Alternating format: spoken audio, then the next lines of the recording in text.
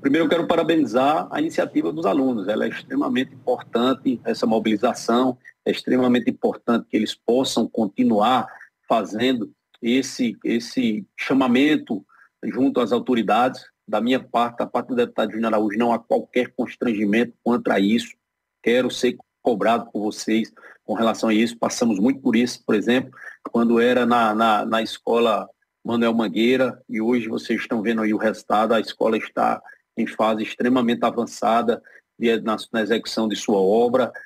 Tivemos momentos difíceis, assim como o momento da ECIT, e Claudina, assim como a escola do Moisés Coelho. Ambas são duas escolas extremamente importantes para a nossa região, não diria apenas para a cidade de Cajazeiras, eu diria para a região, e é extremamente justo esse, essa reivindicação por parte de vocês. E quero aqui, mais uma vez, colocar, não só de maneira pessoal, como cajazeirense, para que a gente possa buscar juntos essa, essa solução. Mas também quero colocar o meu mandato à disposição de todos vocês, no sentido de que a gente possa, é, de maneira mobilizada, organizada, respeitosa, fazer as exigências necessárias junto às autoridades de Estado. Quando eu digo autoridade, eu digo ao próprio governador João Azevedo, eu digo ao secretário de Educação, digo ao superintendente da SUPLAN, aos secretários que, que tenham, de alguma forma, a maneira de nos ajudar nesse pleito. E aí eu trago duas informações. É, primeiro, é, a vistoria que foi feita na City constatou-se realmente que haverá de, de ser feito um novo reparo. Lamentavelmente, é uma notícia ruim, é uma notícia desagradável, mas, sobretudo, serve para a segurança de toda a comunidade escolar que, que, que usam aquela escola, pelo menos que estavam usando aquela escola, no seu dia a dia. Me refiro a professores, funcionários, alunos, a pais de alunos, a, a, enfim, a todos aqueles que de alguma maneira atuam diretamente na escola. A informação que eu recebi, inclusive oficial, aqui na Secretaria de Educação, na, na, na tarde de antes de ontem, junto com o chefe do setor de engenharia da Secretaria Estadual de Educação, foi que realmente o dano que, que, que apresentou no teto da escola é um dano que realmente acarreta risco em caso de desabamento à, à vida das pessoas e por isso será aberto é, um, no, um novo processo de licitação, porque aquela que estava sendo executada não alcançava esse item, não estava incluído nos serviços que eram feitos e pode ter certeza de que nós estaremos atentos, cobrando. Falei com o secretário, saí do setor de engenharia, fui à secretaria para cobrar uma maior agilidade. Entendo tudo isso, as circunstâncias que vocês estão é, é, tendo que se submeter para estudar de maneira remota, em, muitas vezes em, em, em, prédios adaptados, como é o caso do CSU, que não foi construído para se vir é, com sala de aula, foi adaptado,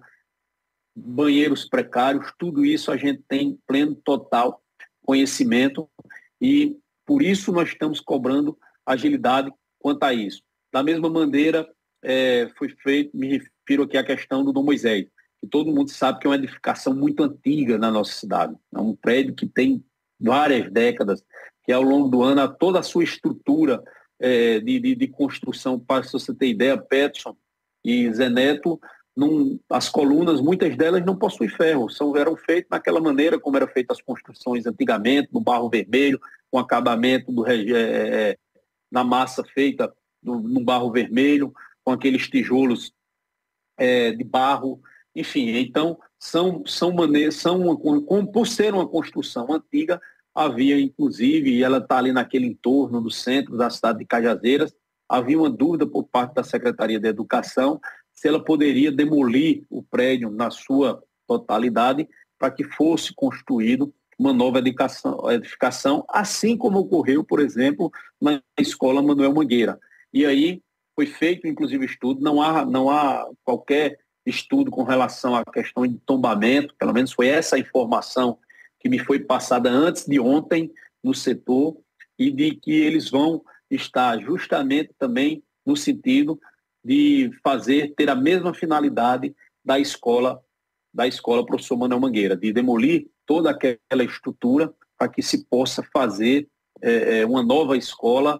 e aí, óbvio que isso requer tempo, traz transtornos, aborrecimentos, a situação dos alunos fica em situação é, limitada, precária, muitas vezes tendo, por exemplo, de se submeter a aulas remotas que a gente sabe que na prática não tem a mesma produtividade da presencial, mas me coloco, inclusive, na próxima semana estarei na cidade de Cajazeiras e me coloco, inclusive, à, disposição para que a gente possa juntos, é, através de uma comissão, fazer esse levantamento de, da, da situação como estará e fazer um contato direto com a Secretaria da Educação e que possamos ter uma resposta diretamente, me coloco para fazer intermediar, fazer essa interlocução junto a, a essa comissão de estudantes, bem como diante da Secretaria de Educação. Mas contem comigo, o que precisar nós estamos aqui, a nossa voz, o nosso mandato, e vamos continuar é, lutando e trabalhando para que essa página possa ser virada e que a gente possa ter realmente uma estrutura adequada para servir de conforto e de aprendizado para todos vocês.